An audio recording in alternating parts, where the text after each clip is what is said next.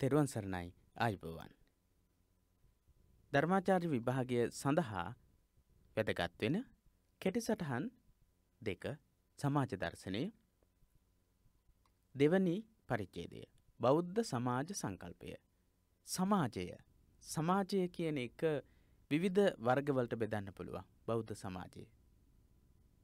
ඒ වගේම හින්දු සංස්කෘතියට අනුව ගොඩනැගෙන සමාජයන්. ඒ වගේම මුස්ලිම් සමාජයේ. ඒ විදිහට අපිට විවිධ සමාජ වර්ග කරන්නට පුළුවන්. අපි මේ පාඩමේදී කතා කරන්නේ බෞද්ධ සමාජ සංකල්පය. බෞද්ධ සමාජය. බෞද්ධ සමාජය කියන සංකල්පය. අපි බලමු.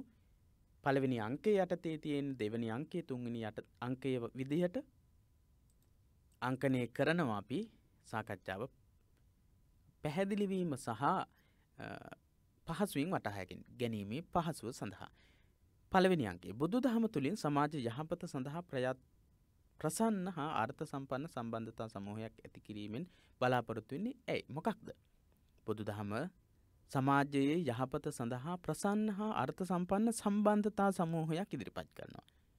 ඒ කියන්නේ බුදු දහමේ ගැන්වෙන සමාජයේ සම්බන්ධතා යහපත්ව ගොඩනැගීමට අවශ්‍ය ගැන්වීම සංකල්ප උගන්වනවා. එතුළින් අදහස් කරන බලාපොරොත්තු වෙන අදහස් කිහිපයක් තියෙනවා. එකක් තමයි අන්‍යෝන්‍ය සුහඳතාව රැකගනිමින් ජීවත්වීමේ අවස්ථාව සලසාදීම. එක එක්කෙනා අතර සුහඳ හොඳ බැඳුණු හදවත් වලින් සුහඳ සීලීත්වයෙන් ජීවත්වීම සඳහා අවස්ථාව ලබාදීම සමාජ සම්බන්ධතා ගොඩනැගීමට අවශ්‍ය සංකල්ප බුදු දහම තුළින් ඉදිරිපත් කිරීමේ අරමුණ බවට පත්වෙනවා. තව අරමුණක් තමයි ගෞරවය රැකගනිමින් ජීවත්වීම සඳහා අවශ්‍ය උපදේශ ලබාදීම.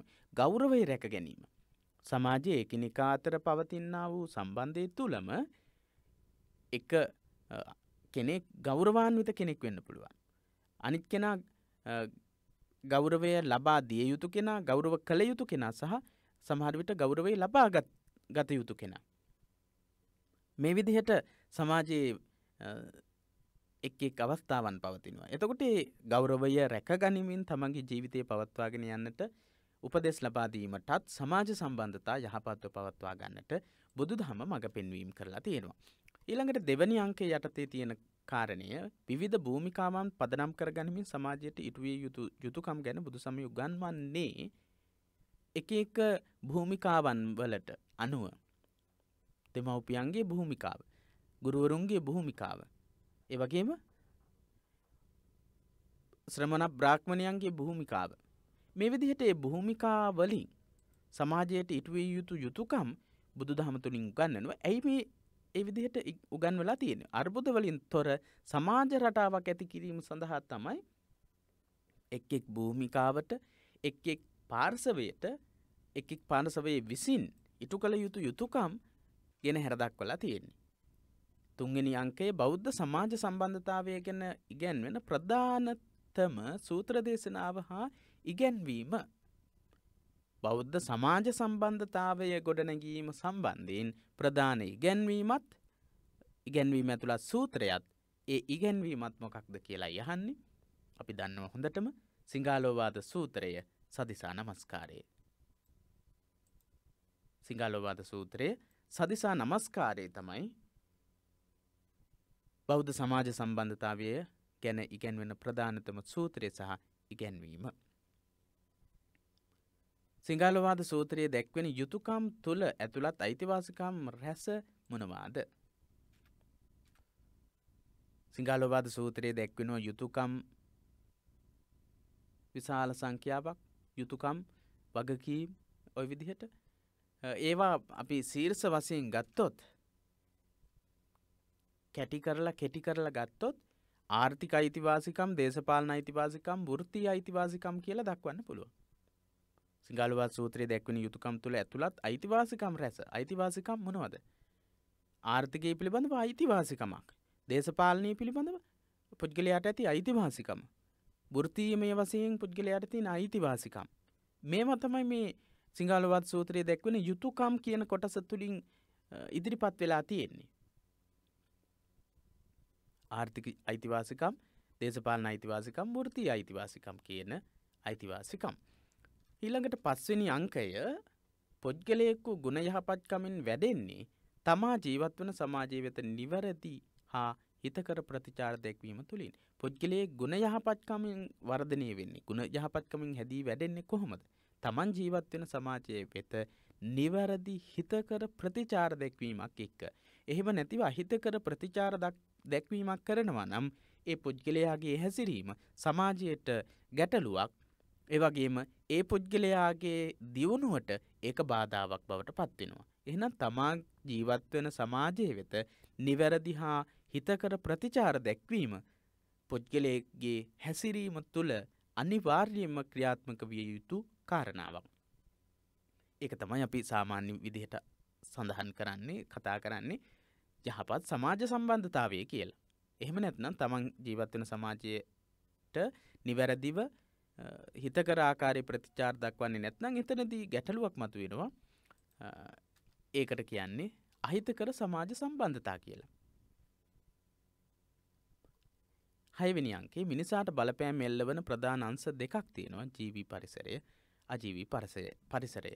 අපි ජීවී පරිසරය සහ ජීවී පරිසරය කියන මේ දෙක ගැන පුළුල් විදිහට තනි මාතෘකාවක් යටතේ කතා කරලා තියෙනවා. ඒ නිසා ජීවි පරිසරය අජීවි පරිසරය කියන්නේ මොකක්ද කියලා අපි මෙතනදී කතා කරන්නට බලාපොරොත්තු වෙන්නේ නැහැ. පුද්ගලයාට බලපෑම් එල්ල කරන්න පුළුවන් ප්‍රධාන අංශ දෙකක් තියෙනවා කියලා මතක තියාගන්න. ජීවි පරිසරය තුලින් ජීවි පරිසරයේ ඉන්න පුද්ගලයන්ට බලපෑම් කරන්න පුළුවන් අජීවී පරිසරයෙන් ජීවි පරිසරය තුළ ඉන්න පුද්ගලයාට බලපෑම් එල්ල කරන්නට පුළුවන්. ඊළඟට හත්වෙනි අංකය. මහාචාර්ය කෝගන් මිසුනෝ පවසන අන්දමට බුදු දහමේ ඉගැන්වීම මේක ගොඩක්ම වැදගත් පුද්ගල බුදු දහමේ ඉගැන්වෙන පුද්ගල සංකල්පය එහම නැත්න සමාජ සංකල්පය ගැන කතා කරත්ති ගොඩක්ම වැදගත්. කෝගන් මිසුනෝ පවසන්නේ මෙන්න මෙහෙමයි.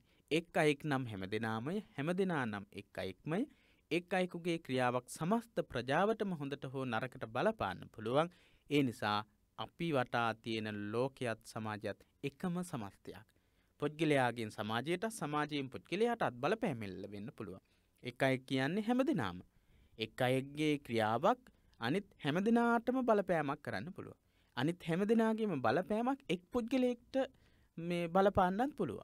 ඒ විදිහට ගත්තම් එක් අයි කියන්නේ සමස්තය සමස්තය කියන්නේ එක් අයි එක් අයගේ බලපෑම අනිත් සමස්ත සමාජයටම බලපාන සමස්ත සමාජීම බලපෑම සෑම පුද්ගලෙක්ටම බලපානම එක තමයි කෝගන් මිසුනෝ කියන පඩිවරයා දක්වන අදහස බුදු දහමට අනුව බුදු දහමේ සමාජ සංකල්පය සම්බන්ධයෙන් තමයි ඔහු ඒ ආකාරයෙන් තොරතුරු ඉදිරිපත් කරලා තියෙන්නේ.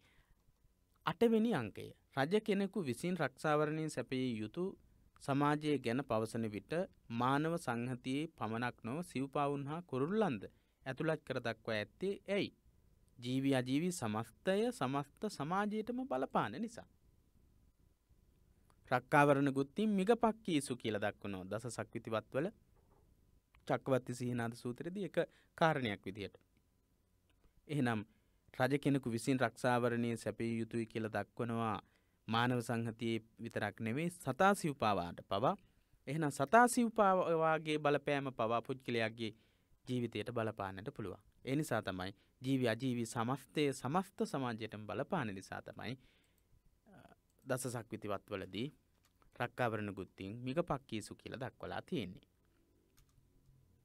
නවවෙනි අංකය ලොව ප්‍රථම පසු චිකිත්සාව අරබන ලද්දේ කවුරුන්ද. දේ චිකසකා කතා කියල සඳහන් වනා ධර්මාසෝක අධිරාජ්‍ය පිළිබඳව කතා කරද්දී. මිනිසුන් සඳහා ආරෝග්‍ය ශාලාවකුත් ඒවගේම සතුන් සඳහා පසු චිකිසාච්ච කියල සඳහන් වනේ. සතුන් සඳහාද වෛද්‍ය ශාලාවක් ආරෝග්‍ය ශාලා ඉදි කලා කියල සඳහන් වන හෙනම් ලෝ ප්‍රථම පසු චිකිත්සාව ආරම්භ කරපු රජතුමා විදිහයට සලකන්නේ බෞද්ධාධිරාජ අසෝක අසෝක යන්න. දහවෙනි අංකය කරණීමෙත සූතරයෙන් ඉගැන්වෙන ආකාරයට මෙත් සිත් පැතිරවිය යුතු අයුරු. සමස්ත විශ්වයේම උපන් නූපන් දිසි අදිසි ළඟ දුර හැමාකාරීම සත්වයන්ට තමයි මෙත් වැඩිය යුතු වෙන්නේ. පාඩම් කීපයකදීම මේ කරණීයමෙත්ත සූත්‍රයේ සඳහන් වෙන ඉගැන්වීම ඇතුළත් වෙනවා. එහෙනම් සමස්ත විශ්වයේම උපන් නූපන් දිසි දිසි ළඟ දුර හැම ආකාරයේම සත්‍යයන්ට මෙත් වැඩීමට තමයි කරණීයමෙත්ත සූත්‍රයේ දක්වන්නේ. එහෙම නැතිව යහපත් සමාජ සම්බන්ධතාවයක් ගොඩනගා ගන්න එක පිරිසකට විතරක් මෙත් වඩලා එක පිරිසකට විතරක් අවධානය යොමු කරලා හිම කරන්න බැහැ. එහෙනම් සමස්ත සමාජයේම ඒකාකාරී යහපත් සමතුලිත සම්බන්ධතාවයක් සමාජ සම්බන්ධතාවයක් බෞද්ධ සමාජ සංකල්පය තුළින් ගොඩනගන්නට නම් බුදු දහමේ ඉගැන්වෙන මේ සියලුම සත්වයින්ට මෙත් වැඩිය යුතුයි කියන කාරණය වැදගත් වෙනවා. සමස්ත විශ්වයේම ඉන්න අයට තමයි මෙත් වැඩීමට දක්වන්න උඩ යට හා හරස් සිව් දෙසින් සතුරු බවක් නැති සේ සිතන ලෙස. කිසිම අන්සයකින් සතුරු බවක් ඇති නොවෙන විදිහට තමයි සිතන්නට කියලා කියන්නේ මෙත් වඩන්නට කියලා කියන්නේ. එහෙම නැත්නම් එක අංශයකින් හෝ ගැටුමක් ඇති වුණොත් සමාජ සම්බන්ධතාවය යහපත්ව පවත්වාගෙන යන්නට බෑ. ඒ නිසා බුදුදහමේ කරණීයමෙත සූත්‍රයෙන් උගන්වනවා සියලු දිසාවන් වලට එක හා සමානව මෛත්‍රී සාගත සිත් පතුරවන්නට කියලා. ඊළඟට 11 වෙනි අංකයේ මානව හිතවාදීන් තම ආචාර ධර්ම ගොඩනගන්නේ මිනිසා කෙරේ අසීමිත වැදගත්කමකින් පිරිනම් වැදගත්කමක් පිරිනමමින් නිසා සිදුවන්නේ. මානව හිතවාදීන් මානව හිතවාදී පුද්ගලයෝ ආචාර ධර්ම ගොඩනගලා තියෙන්නේ වැඩිපුර වටිනාකම දීලා තියෙන්නේ මිනිස්සුන්ට. හැබැයි බුදුරජාණන් වහන්සේ සියලු සත්‍යයන්ට වටිනාකම් දීලා තියෙනවා. සියලුම සත්වයන්ට. එහෙම නැතිවුණොත් සත්ව සත්ව ලෝකයෙන් පුද්ගලයාට බලපෑමෙල්ල කරනවා. කොච්චර නම් සත්තු විදිහට ඉන්න සිව්පා සත්තු ජීවිතය එහෙම නැත්නම් පුද්ගලයාගේ ජීවිතය එක සම්බන්ධ වෙලා උපකාර කරන උපකාරයක් වෙන අවස්ථාවන් තියෙනවා. ඒවගේම තමයි ඒ සතුන්ගේ හැසිරීම පවා ඒ සතුන්ගේ නාදය පවා පුද්ගලයාට බලපෑමක් එල්ල කරන්න පුළුවන්කම තියෙන විදිහේ ඉගැන්වීමක්. ඒ නිසා මානව හිතවාදීන් මේ දක්වන ආචාර ධර්මය එකැන මිනිස්සුන්ට විතරක් වටිනාකම වැඩිපුර ලබා දෙමින් ඉදිරිපත් කරන දෙය ඉක්මවලා ගියපු වැදගත් වෙන සමාජ සම්බන්ධතාවයක් වැදගත් වෙන වටිනාකමක් බුදුදහමේ සියලුම සත්වයින්ට මෙත් වැඩීමට යොමු කරවීම තුළින් පෙන්නුම් කරනු. හොඳයි දොළොස්වෙනි අංකය බුදු සමේ සියලු සත්වයන් පිළිබඳ දක්වන ආකල්ප මෙන්න මේ විදිහට කෙටියෙන් අපිට දක්වන්න පුළුව. සමාජයේ ජීවත්වෙන හැම කෙනා කෙරෙහිම බුදු දහම ආකල්ප මේ ටික අනිවාර්යයෙන්ම හොඳින් මතක තියාගන්න බුදු දහමේ සමාජ සංකල්පයේ සාධනීය ලක්ෂණ වැදගත්වෙන ගැන්වීම මේවා සියලු සත්වයන්ට ජීවිතය ප්‍රිය බව දැක්වීම බුදුදහමි ප්‍රධානම ඉගැන්වීමක්. ඊළඟට හැම සත්වයන්ම මරණයට බිය බව සබ්බේ භායන්ති මච්චුනෝ. සබ්බේ භායන්ති මච්චුනෝ සියලු සත්වයෝ මරණයට බයයි කියන කාරණය. ඊළඟට සියලු සත්වයින් දඩුවමට අකමැති බව. සබ්බේ තසන්ති දණ්ඩස්ස සියලු සත්වයෝ දඩුවමට බියයි. ඒ නිසා දඩුවම් දෙන්නට හෝ එහෙමනැත්නං සතුන් මරණයට පත් කරන්නට හෝ සතුන්ගේ ජීවිතය විනාස කරල දාන්නට හෝ සතුන්ගේ ජීවිතය උදුරාගන්නට හෝ ක්‍රියා කරන්නට බැහැ කියන ඉගැන්වීම් සංකල්ප කහිපයක් සබ්බේ සංජීවිතම්පියන් සියල් සියල්ලෝම ජීවිතයට ප්‍රිය කරනවා කියන එක සබ්බේ භායන්තිමච්චුණු සියලු දෙනා මරණයට බයයි සබ්බෙත් හසන්ති දණ්ඩස්ස දඩුවමට බයයි කියන කාරණාවන් බුදු දහමේ සමාජ සංකල්පය පිළිබඳව දක්වන වැදගත්වනේ ගැන්වීමක්. බුදු සමයේ දෙවියන් හා මිනිසුන් වෙන්කොට හඳුනාගන්නේ ධර්මය පිළිපැදීමින් ප්‍රයෝජන ලද හැකි ජීවීන් විදිහට. බුදුදහමේ දෙවියන් සහ මිනිස්සුන්ව වෙන් කරලා හඳුන්වා ගන්න මේ නිර්ණායකයක් තියෙනවා. ඒ නිර්ණායකයේ තමයි ධර්මය පිළිපැදීමින් ප්‍රයෝජන ලබන්න පුළුවන් සත්ව විශේෂය තමයි දෙවියන් සහ මිනිස්සු කියලා කියන්නේ. සතා සිව්පාවා සහ දෙවියන් මිනිසුන් මේ හැමෝම එකයි කියලා බුදු දහම ඉගැන්වෙන්නේ නැහැ. තිරිසන්ගත සතුන් සහ දෙවියන් මිනිසුන් මේ අය අතර වෙනසක් තියෙනවා. ධර්මය පිළිපැදලා ප්‍රයෝජන ලබාගන්න පුළුවන් මනුස්සත්තයේ තියෙන මනසින් උසස් පිරිසක් විදිහට තමයි මිනිසුන්ව හඳුන්වන්නේ. ඒවගේම දෙවියන් සහ මිනිසුන් කියන කණ්ඩායම් දෙකම ධර්මය පිළිපැදලා ධර්මය අවබෝධ කරගන්න පුළුවන් තත්වේ පසුවෙන පිරිසක් විදිහටයි දක්වන්නේ. බුදුරජාණන් වහන්සේ සත්තා දේවමනුස්සානන් යනුවෙන් හඳුන්වන්නේ දෙවි මිනිසුන් දෙවියන් සහ මිනිස්සු කියන කණ්ඩායම් දෙකටම ශාස්තෘවරයා ගුරුවරයා වෙන නිසා තමයි බුදුරජාණන් වහන්සේ සත්තා දේවමනුස්සානන් කියන උතුම් වූ බුදුගුණ රාසීන් හඳුන්වනු ලබන්නේ. සත්තා දේවමනුස්සානන් යන බුදුගුණ රාසීන් හඳුන්වන්නේ කුමක් නිසාද? බුදුරජාණන් වහන්සේ දෙවියන්ට සහ මිනිසුන්ට අනුශාසනා කරන්නට පුළුවන් ශාස්තෘවරයාණන් වහන්සේ නිසා. බුද්ධ ශ්‍රාවක සමාජය පිළිබඳව පවත්න විශේෂ සංකල්පය මනුස්්‍ය සමාජය පරිමිත කර ගනිමින් සිව්වනක් පිරිස ලෙස පෙළ ගැස්වීමක් ගැස්වීමයි එම සිව්වනක් පිරිස. අපි මේ පාඩම් කීපයකදීම මේ සිව්වනක් පිරිස කතා කරලා තියෙනවා. බෞද්ධ සමාජයේ බෙදීමේදී බෞද්ධ සමාජ සංකල්පය බෙදීමේදී භික්ෂු භික්ෂුණී උපාසක උපාසිකා කියන කොටස් හතරට තමයි සමස්ත මානව වර්ගයාවම බුදුරජාණන් වහන්සේ විසින් බෙදලා තියෙන්නේ කියන එක මතක තියාගන්න. ඊළඟට 16 වෙනි අංකය බුදුරදුන් සියලු කෙලසුන් නසා බුදු වූ පසු දහම් දෙසන්නට සැරසෙන අවස්ථාවේ මාරයා කළ ප්‍රකාශයට බුදුරජාණන් වහන්සේ දුන් පිළිතුරෙහි අන්තර්ගතය පිරිනිවන් පාන්නට පෙර සිව් පිරිස පිරිනිවන් පාන්න පෙර මාරය ඇවිල්ලා කරනවා ප්‍රකාශයක්. බුදුරජාණන් වහන්සේට පිරිනිවන් පාන්නට කියලා ආරාධනා කරනවා. පිරිනිවන් පාන්නට කියලා කියනවා. ඒ වෙලා වෙදී බුදුරජාණන් වහන්සේ මාරයට මෙන්න මේ විදිහ අදහසක් තමයි දක්වන්නේ. විනීත විසාරද ධර්මදර ධර්මානු ධර්ම ප්‍රතිපන්න දේශනය වගේම ප්‍රතිවාදීන් කරන වැරදි විවරණය කරලා නිවැරදි දේ සනාත කරන්නට පුළුවන් තත්වයට භික්ෂු භික්ෂුණී උපාසක උපාසිකා කියන සිව්වනක් පිරිසම පත්වෙන තුරුන් වහන්සේ පිරිනිවන් පාන්නේ නැහැ කියලා සඳහන් කරනවා. එහෙනම් බුදුරජාණන් වහන්සේ මොකක්ද මේ තුළින් අපේක්ෂා කරලා තියෙන භික්ෂු භික්ෂුණී උපාසක උපාසිකා කියන මේ සිව්වනක් පිරිස තුළම විනීත බව විසරද බව ධර්මදර බව ධර්මානු ධර්ම ප්‍රතිපන්න ධර්මයට අනුව ජීවත් වෙන බව.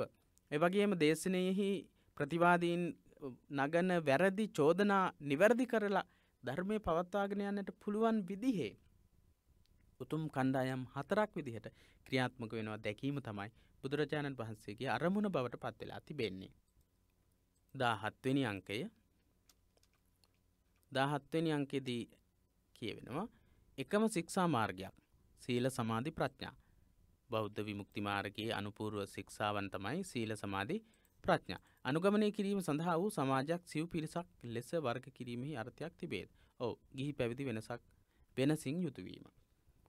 සීල සමාධි ප්‍රඥා කියන එකම විමුක්ති මාර්ගයක් තමයි පවතින්නේ ඒ වුණාට බුදු දහම ඉගැන්වෙන ආකාරයට ගිහි සහ පැවිදි කියන මේ කණ්ඩායම් දෙකේ ලොකු වෙනසක් තියෙනවා. ඒ ගිහි වෙනස ගිහියාගේ සහ පැවිද්දාගේ පවතින වෙනස ඒ පිළිබඳවත් ගිහි පැවිදි වෙනස පිළිබඳවත් සඳහන් වෙලා තියෙනවා. අනිවාර්යයෙන්ම ගිහි පැවිදි වෙනස අපි හොඳින් තේරුම් ගත යුතු කාරණාවක්. ගිහි පැවිදි වෙනස තේරුම් නොගත්තොත් බෞද්ධ සමාජයේ විවිධ ගැටලු ඇති වෙනවා. ගිහියාට තියෙන ප්‍රමාණය සහ පැවිද්දාට තියෙන ප්‍රමාණය ගිහියා සහ පැවිද්දා හොඳින් තේරුම් ගත යුතුයි. ගිහි පැවිදි දෙපක්ෂයට එකම ශික්ෂා මාර්ගය අනුගමනය කළ නොහැකි බව. එකම ශික්ෂා මාර්ගය අනුගමනය කරන්න බෑ සීල සමාධි ප්‍රඥා කියන සංකල්ප තුන අනුපූර්ව ශික්ෂා තුන තමයි ප්‍රධාන වශයෙන් ඉගැන්වෙන්නේ. හැබැයි ඒ අනුපූර්ව ශික්ෂා ප්‍රතිපදා මාර්ගයේ අනුගමනය කරන විදිහේ වෙනසක් තියෙනවා. එක හා සමානවම මේ ඒ කණ්ඩායම් දෙකම ගිහි සහ පැවිදි කියන කණ්ඩායම් දෙකේම මේ ත්‍රිශික්ෂාව ක්‍රියාත්මක වෙන්නේ නැහැ. ජයසේන නම් රජ රාජකුමාරයෙකු විසින් අචිරවත නම් සාමනේරයන් හිමියනට ප්‍රකාශ කළ බව.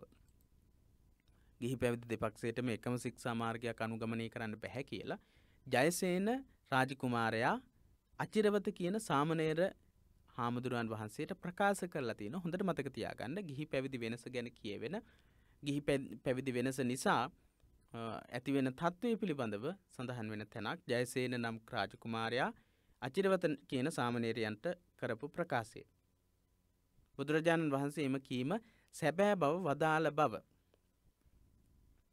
මේ ගිහි පැවිදි දෙපක්සේටම එකම සික්ෂා මාර්ගයක් අනුගමනය කරන්න පැහැ කියන කාරණේ ජයසයන කියන රාජකුමාරයා අචිරවත කියන සාමනේරයන්ට ප්‍රකාශ කරපු වෙලාවේදී බුදුරජාණන් වහන්සේ එක අහලා බුදුරජාණන් වහන්සේ එක සැබෑ බව ඔප්පු කරලා තියෙනවා. සැබෑ බව ප්‍රකාශ කරලා තියෙනවා. ඒ පිළිබඳව සඳහන් වෙන්නේ මජ්ජිමනිකායේ දන්ත භූත සූත්‍රයේ. මජ්ජිමනිකායේ දන්ත භූත සූත්‍රයේ මොකක්ද? එහෙමනම් සඳහන් වෙන කාරණය ගිහි පැවිදි කියන දෙපක්ෂයටම එකම ශික්ෂා මාර්ගයක් අනුගමනය කරන්න බැරි බව ජයසේන කියන රාජකුමාරයා අචිරවත කියන සාමනේරයන්ට ප්‍රකාශ කළ බව තමයි සඳහන් වෙන්නේ.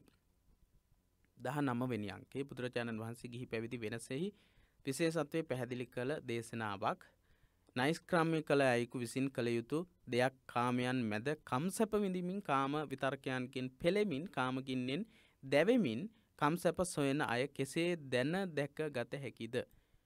බුදුරජාණන් වහන්සේ ගිහි පැවිදි වෙනස පිළිබඳව සඳහන් කරනවා නයිස්ක්‍රම්ය කළ අයකු විසින් කළ යුතු දෙයක්. නයිස්ක්‍රම්ය කියල කියන්නේ නෙක්කම්ම ගිහිගේ අතහැරලා ගියපු කෙනෙක් කළ යුතු දෙයක් කාමයන් මැද ඉඳගෙන කම්සැප විඳීමින් කාම විතර්කයන්ගෙන් හිත පුරවගෙන හිත පෙළෙන තත්වයට පත්වෙලා කාමාග්නයෙන් දැවෙමින් කම්සැප හොයන කෙනෙක්ට ලබන්න බැහැ.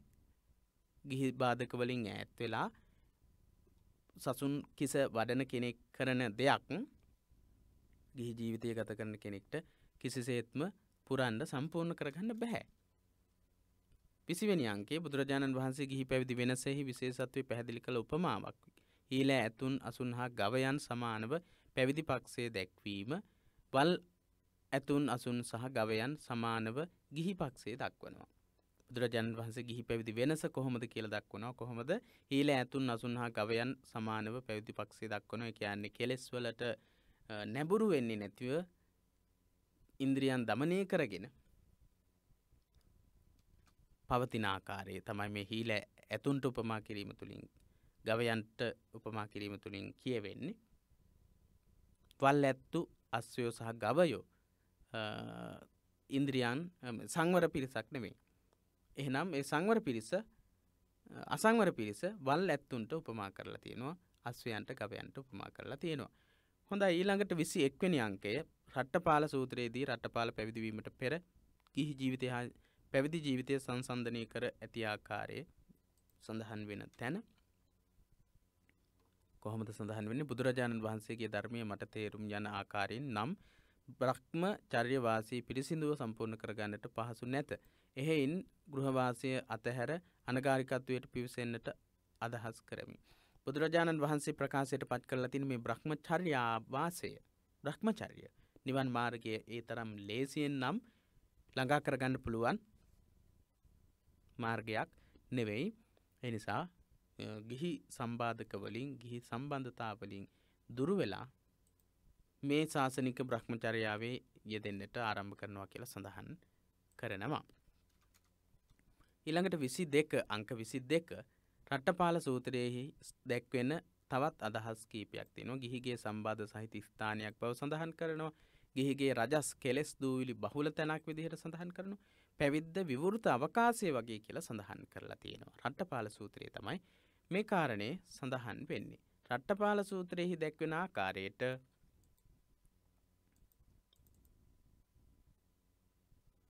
ගිහි ජීවිතයෙහි ස්වභාවය පිළිබඳ හැඳින්වීමක් කරන්න කියලා සඳහන් කරන්නට පුළුවන් ප්‍රශ්න පත්තරයේදී එතකොට අපිට පිළිතුරු ලබා දෙන්නට සිද්ධ වෙනවා.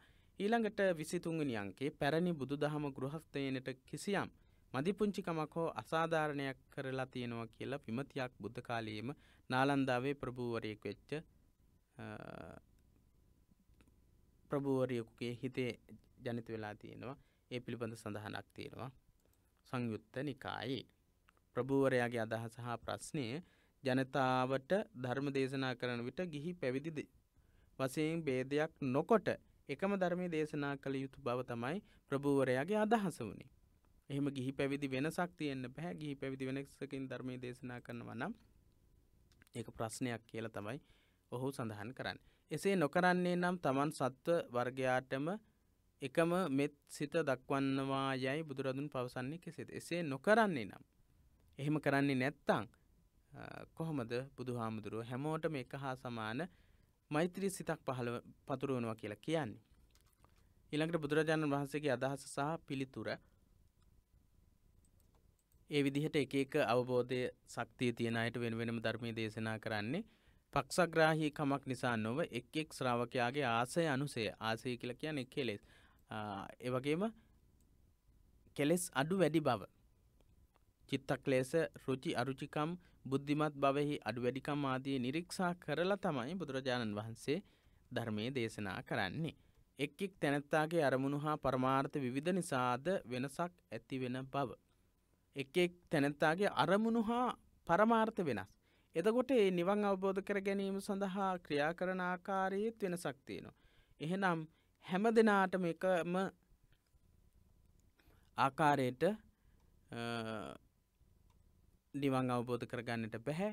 ඔවුන්ගේ දැනුම් මට්ටම වෙනස් වෙන්න පුළුවන් ආකල්ප වෙනස් වෙන්න පුළුවන් ඔවුන් හැදී වැඩුණු පරිසරේ වෙනස් වෙන්න පුළුව ඒත් එක්ක ඒ කරුණු සියල්ලක්ම නිවැරදි වුණොත් තමයි නිවන් අවබෝධ කර ගැනීම සඳහා ක්‍රියා කළ හැකි වෙන්නේ. කුඹුරු උපමාව ගොඩක් වැදගත් වෙන කාරණාවක්. ධර්මාවබෝධය හා සම්බන්ධව කතා කිරීමේදී ඒ වගේම ශ්‍රමණ බ්‍රාහ්මණීන් පිළිබඳව කතා කරද්දී සත්‍රීක කුඹුරු පැවිදි ශ්‍රාවකයන් හා සමානයි කියලා සඳහන් කරනවා. ඊළඟට මධ්‍යම කුඹුරු ගිහි ශ්‍රාවකයන් හා සමානයි කියලා සඳහන් කරන උපමා කරලා තියෙනවා නිසරු කුඹුරු අන්‍ය තීර්ථක ශ්‍රමණ බ්‍රාහ්මණයන් හා සමානයි කියලයි බුදුරජාණන් වහන්සේ සඳහන් කරලා තියෙන්නේ දේශනා කරලා තියෙන්නේ. කුඹුරේ හැටියට වගාව තෝරාගෙන පෝර දැමීම ආදී සාත්තු කර අස්වැන්න ලබන්නා වගේ ගිහි පැවිදි උතු උගත් නූගත් විවිධ ශ්‍රාවකයන්ට විවිධ ක්‍රමවලින් උගන්වනු ලැබේ. කුඹුරේ හැටියට වගා තෝරාගෙන පෝර දාලා සාත්තු කරලා අස්වැන්න ලබා ගන්නවා වගේ ගිහි පැවිදි උගත් නූගත් විවිධ ශ්‍රාවකයන්ට විවිධ ක්‍රමවලින් උගන්වනු ලැබේ.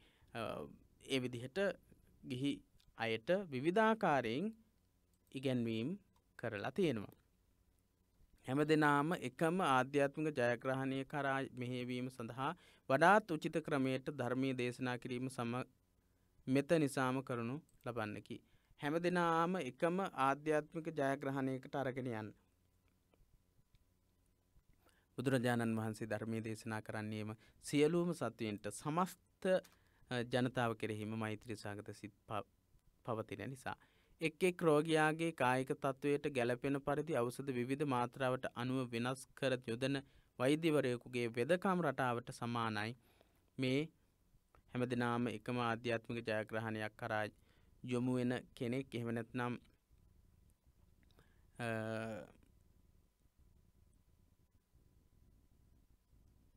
හැම දෙනාටම නිවන් දකින්නට අවස්ථාව ලබා දෙන්නේ පුදුරජාණන් වහන්සේ තුළ පැවතුනා වූ මහා කාරුණිකත්වය නිසා. එක් එක් රෝගියාගේ කායික තත්වයට ගැලපෙන පරිදි අවසදේ නියම කරනවා වගේ එක එක්කනාට ධර්මය අවබෝධ කරගන්න පුළුවන් සුදුසුම ක්‍රමේ තෝරලා දේශනා කරලා තියෙන්නේ. වෛද්‍යවරයෙක් විදිහට ක්‍රියා කරලා තියෙන්නේ බුදුරජාණන් වහන්සේ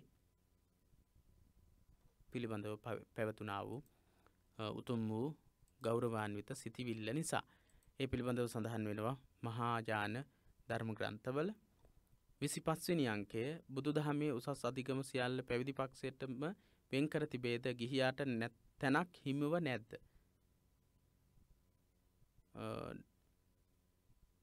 ඒකෙන් නැහැ තිබේ කියල සඳහන් කරනවා බුදු දහමේ පැවිදි පක්ෂයට පමණක් නෙමෙයි. ගිහි පාර්සවේ හිටපු අයටත් ධර්මාවබෝධයට පත්වෙන්නට පුළුවන් බව සඳහන් ධර්මාවබෝධය කරගෙන හිටපු බව සඳහන් වෙන අවස්ථාවන් තියෙනවා. සෝවාන් සකදාගාමි අනාගාමි අරහත් ගිහි මාර්ගඵල ලාබීන් ඉඳලා තියෙනවා. ඒක එක නිදසුනක් උදාහරණයක්.